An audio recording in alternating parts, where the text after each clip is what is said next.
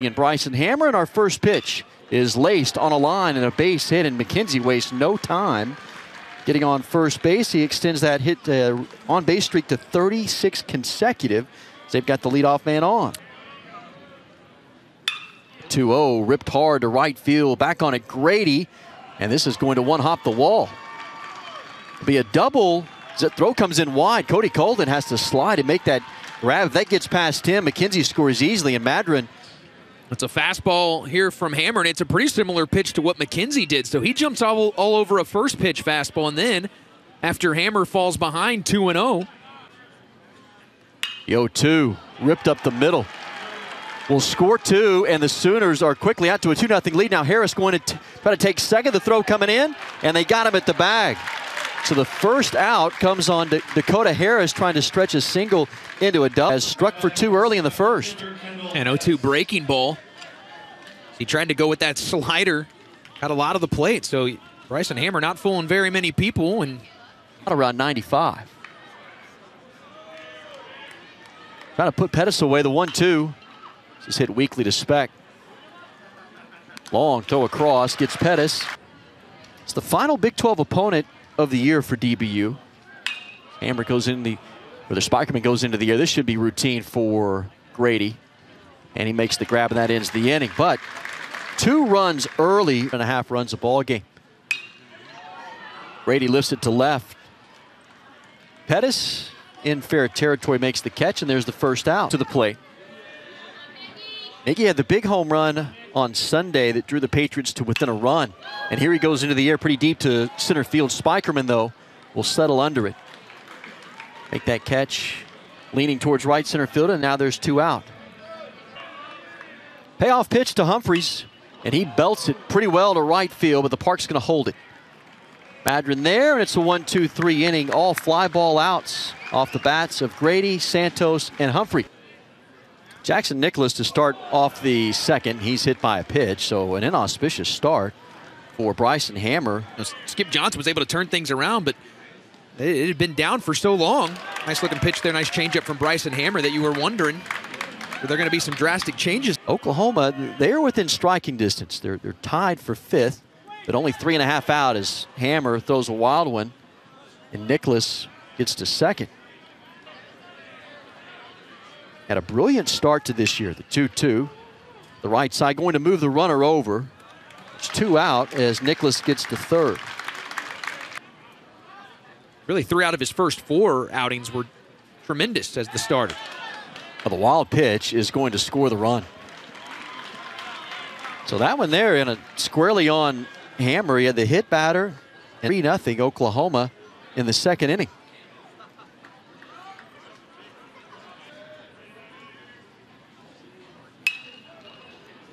Fly ball to left and Pendergast.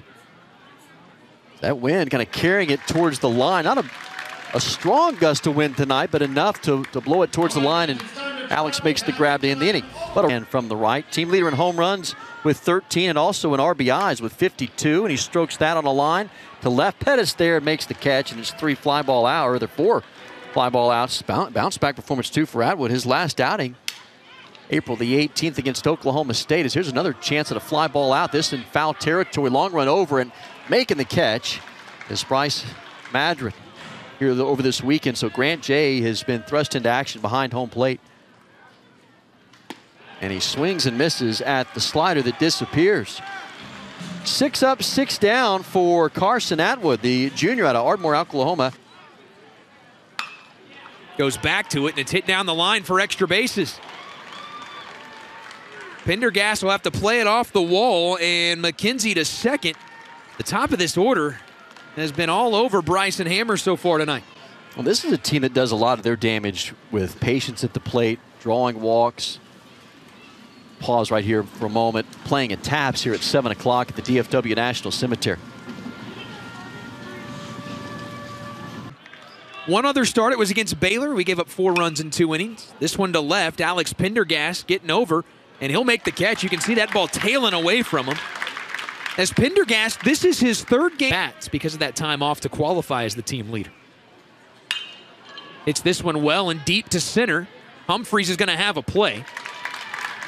McKenzie tags. There's two away. One in the second. Hammer at 2 2. Off the end of the bat and into left field. And another run's going to come in as Kendall Pettis, with his 14th RBI, just got enough of it to make it 4 0. See it here. Just up in the zone. That's above the belt and a pitch that Bryson would, would love to get back those on changeups. This ball's hit well to center. Humphreys has a beat on it, puts a squeeze on it, and the inning is over. But Oklahoma scores again. So since that start, or since that outing out of the pen, Tom Poole puts a good swing onto this one. Deep center. Going back is Spikerman. It's off the wall. Patriots finally have a hit off of Carson Atwood, and it's a leadoff double for Tom Poole. Went to the JUCO World Series in both years at Kirkwood. There's a wild pitch. Kicked sharply off the backstop. The throw goes to third base, and Poole is there. DBU's first base runner at third. And he's going to get him home. Pendergast gets the job done on a ground ball to short. The fielder's choice cuts the lead down to three.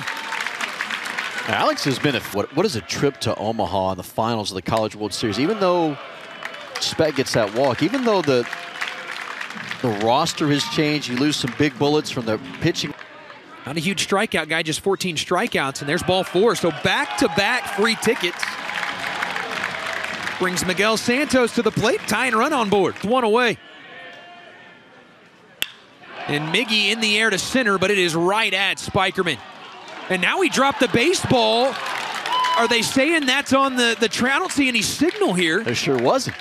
I never saw one. I still am, I would assume it's on the transfer, but no umpire has made any decision. See right here. See if Chris Booker is in this frame. I don't know that he caught that.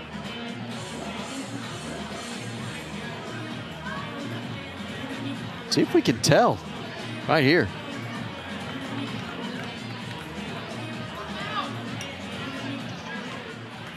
In slow motion, obviously. I, I think he did squeeze. That to me, that's on the yeah. transfer. Yeah, I think so. Well, wait, they're going to call Grady out. They're going to say it wasn't on the transfer that the ball was dropped, and then that's that's just a miss by Chris Booker for not no three innings and give up the four runs on five hits. Bullenbacher's first pitch is popped up to left field. Jackson Nicholas is gone, and there's quickly one away. It was the uh, only strikeout for Bryson Hammer today as he sends this one right back up the middle as a hanging breaking ball. Get a runner to first base. Yo 2 hits it well, right center, long run for Humphreys. I don't think he's going to get there. That ball's off the base of the wall. They are going to wave the runner home. Colden may have a play. I don't think he realized it. A late throw and he's safe, and then the throw gets away. It's 5 1 as Orduno goes over to third on the throw. Paco Garza Gongora will single into left field. Oklahoma just finding holes right now. They're up 6 1. They've had an impressive two strike approach. Here, will the runner be off at first? The answer is yes. The pitch is popped up into left center field. Plenty of room for Pendergast. He's got it two away. 35 respectively. One, two, strike three, a fastball at 92, and the inning's over to Nathan Humphreys. And there's a base hit into left. So DBU may be happy to see someone else on the mound. He went two for 15 in the four games. Another foul ball. This one is going to roll back into fair territory, and uh, tag applied. Nice play by Campbell to keep his head about him, but how odd that you saw two balls hit almost the exact same way. Campbell gets the swing and a miss for strike three as it's squeezed by Easton Carmichael. So a leadoff base hit. Times this year. There's 13.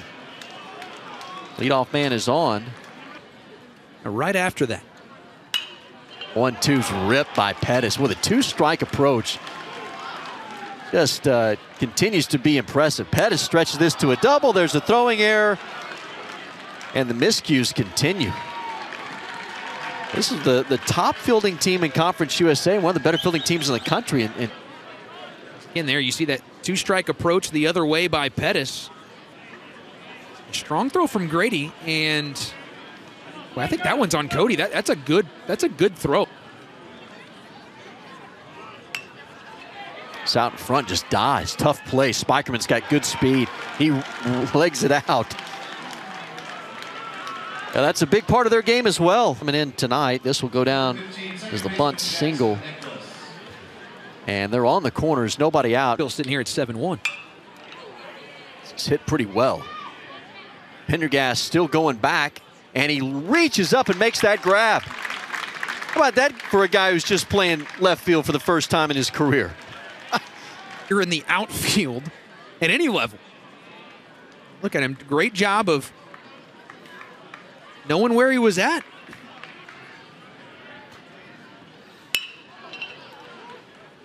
The runner over to third base. Santos retires Carmichael. Close to 350. They can put up some runs. 2 2. Strike called. I believe John Wolf said that he offered at. That ends the inning at OSU Club. Sam Kaye said that he went. Well, Poole is struck out for one. Alex drills it deep into left field. Alex Pendergast has left the yard. His first home run as a Patriot. He made a dazzling catch in the top of the fifth, scaling the wall. This time he goes over the wall. It's a solo blast, and the Patriots are now down by six in the fifth. Teams in the country trending upwards, beginning to think about possible host. Winning a Big 12, and Oklahoma comes in there and sweeps them. There's a swing and a miss on the changeup, and there's two out. Saturday, Sunday, Monday. Jace Grady lifts it to left center field. Running for it is Pettis. He kind of took an awkward route there and makes does make the grab, and that ends the inning. 15 RPI in the country. What do you know? Another two-strike hit that's into left field. Uh, this has been one of the most impressive approaches we've seen this year.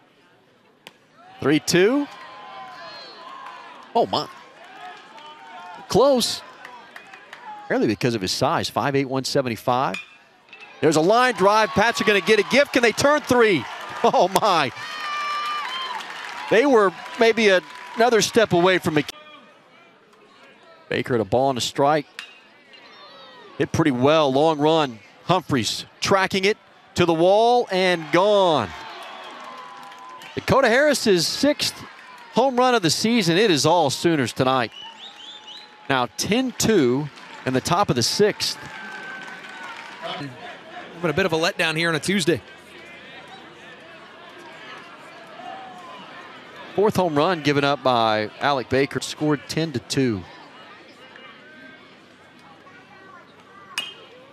Trouble. Big Baltimore chop. Nothing you can do on this one. Base hit for Pettis. Knew immediately that that was not going to happen. Even if Baker's able to make that over the shoulder catch, he's got no chance. It's 10 to 2. It's all Sooners, but Ground ball. That hit the runner, and that'll get, his, get you out of the inning. Been a wild night. Chris Booker made the call. It's been a career year for, for Santos. Already several career highs. He got this one. It looks to be off the end of the bat. Pettis makes that catch.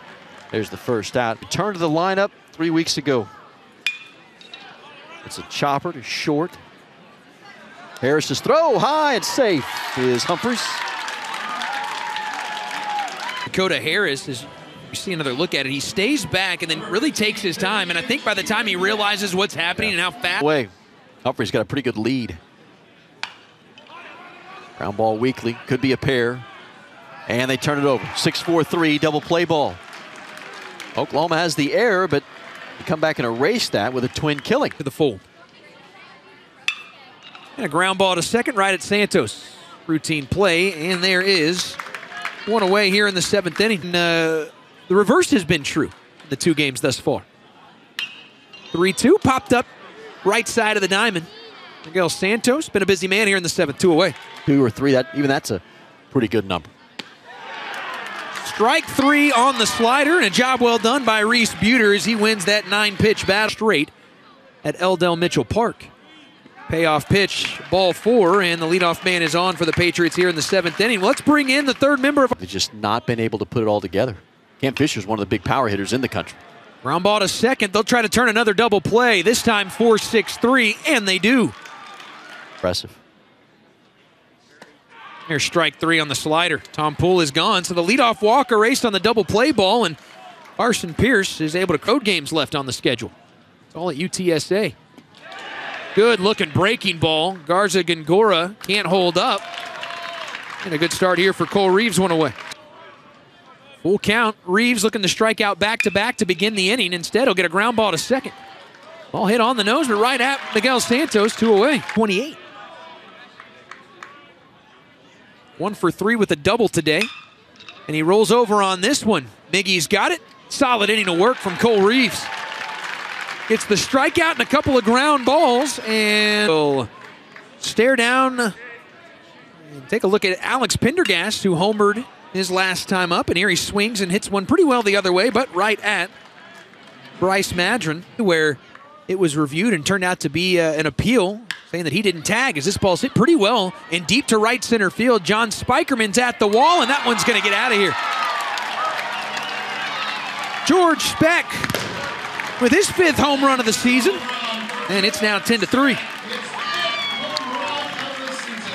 Fastball, 90 miles per hour. It'll in. Now Grady's going to try. He'll go to right. Back to back. As Jace Grady leaves the yard for the eighth time this season, it's the third solo homer tonight. Now 10 to 4. Two and two. That hit him. Santos gets plunked. So three straight have reached. It looked like Carmichael was arguing that that one, helping him close out the Big 12 championship and then getting the ticket to Omaha, is now Nathan Humphreys. That's deep to center. The third long ball of the eighth inning, and all of a sudden it's a four run game.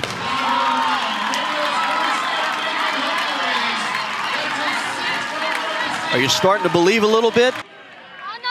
Man, 0 for 3 with a double play today, and he's gone on three pitches. So Carsten comes in and sort of quells the crowd a little bit. Stays up. Like a straight change. Yeah. Here comes the 1 2 to Colden. Down the line. That's going to be extra bases. Colden to second base. And it is the fourth extra base hit of the eighth inning. A 3 2 count to Grant J with first base open. Got him swinging on the slider.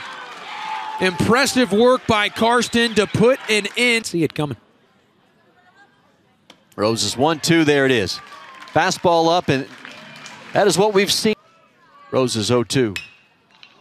In the air, but right at Humphreys. They had him positioned perfectly towards the right center field alleyway. He barely had to budge.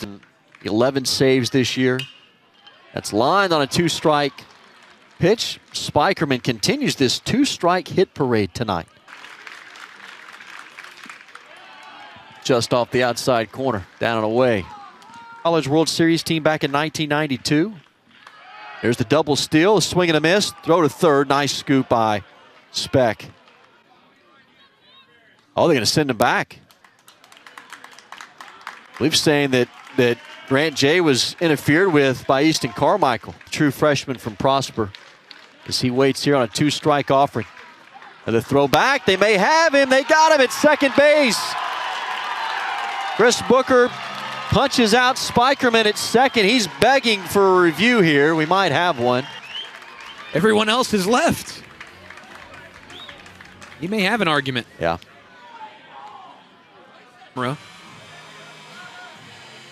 See when the hand touches the bag.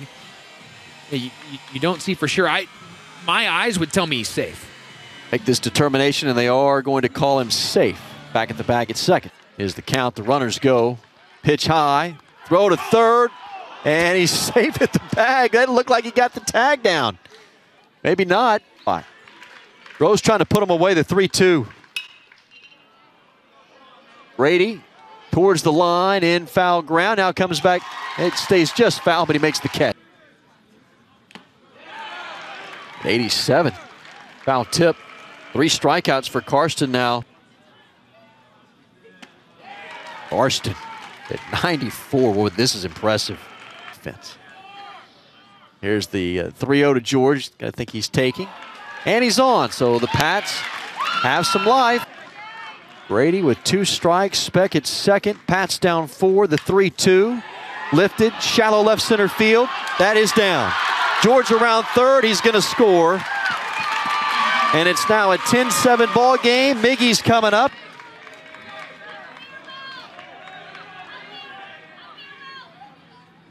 Carstens 2 2. Oh, it's called no. strike three. That looked to be well off the outside corner, and it's strike three called. And that is how the ball game ends. A tough way to lose that one as the Pats fall by a score of 10 to 7 tonight to Oklahoma.